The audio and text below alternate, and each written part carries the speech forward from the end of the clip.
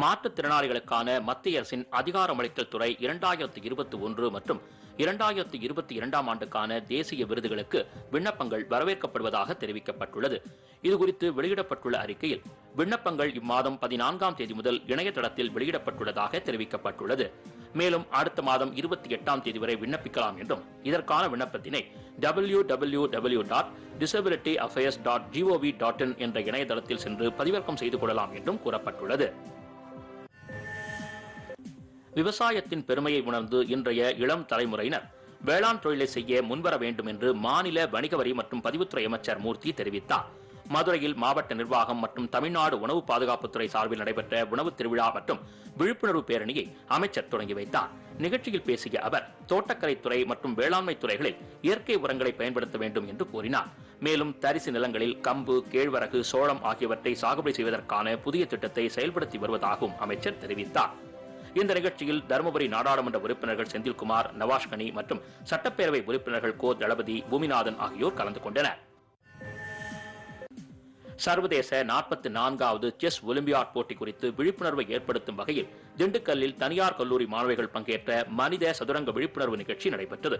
இதனை மாவட்ட ஆட்சியர் விசாகன் தொடங்கி வைத்தார். இந்த சதுரங்க போட்டியில் கல்லூரி மாணவிகள் கருப்பு வெள்ளை உடையணிந்து சதுரங்கத்தில் பங்கேற்றது பார்வையாளர்களை வெகுவாக கவர்ந்தது. இதன் மூலம் அனைத்து தரப்பு மக்களும் எளிதில் புரிந்து கொள்ளும் வகையில் செஸ் விளையாட்டு குறித்த விழிப்புணர்வு ஏற்படுத்தப்பட்டு வருவதாக ஆட்சியர் தெரிவித்தார்.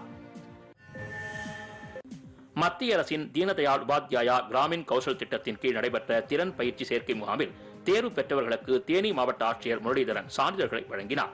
உத்தம்பாளையம் தனியார் கல்லூரியில் மாநில ஊரக மற்றும் நகர்ப்புற வாழ்வாதார இயக்கம் சார்பில் இளைஞர் திறன் திருவிழா நடைபெற்றது. நிகழ்ச்சியை தொடங்கி வைத்து பேசிய ஆட்சியர் இளைஞர்கள் தங்களது விருப்பத்திற்கேற்ப பயிற்சிகளை தேர்வு செய்து வேலை வாய்ப்பை உறுதி செய்யும் நோக்கத்துடன் இந்த முகாம் நடத்தப்படுவதாக தெரிவித்தார்.